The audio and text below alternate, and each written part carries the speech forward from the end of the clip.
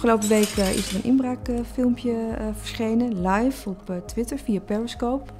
Gelukkig was het niet echt. Het was in scène gezet door Nationale Nederlanden, samen met ex-inbreker Evert Jansen. We hebben dit gedaan om mensen bewust te maken van de, de, risico's op inbraak, met name in deze periode. Het is mooi weer en mensen laten hun ramen en deuren openstaan of gaan op vakantie en denken eigenlijk helemaal niet na over de inbraakgevoeligheid van hun woning.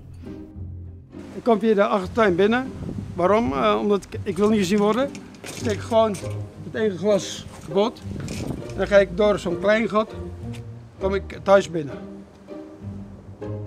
Ik vond het uh, toch wel schokkend uh, om iemand door je huis te zien lopen. En met name ook door, ja, door de kamers te lopen, de kinderkamers. Dan denk je, ja, wat, wat, valt daar te halen? Dat zijn toch het zelfgeschilderde kistje van je zoontje toen hij vier werd, waar hij centjes in heeft zitten. Ja, als ze dat meenemen, dat raakt je wel echt, want dat komt niet meer terug. Dus, ik kom gewoon een kamer binnen en ik zie dat dit een kinderkamer is. En ik weet dat, we, dat ze een spaarpot hebben. We nemen mee, want wij zijn op zoek naar geld. En dit is het. Heel veel mensen zijn gelukkig goed verzekerd via inboedelverzekering. Maar de emotionele schade, ja, die kunnen we helaas niet voor hun vergoeden. Wil je weten hoe goed jouw huis beveiligd is tegen inbraak? Ga dan naar nn.nl slash inbrekersindex. Daar vind je ook tips van ex-inbreker Evert Jansen om je huis beter te beveiligen tegen inbraak.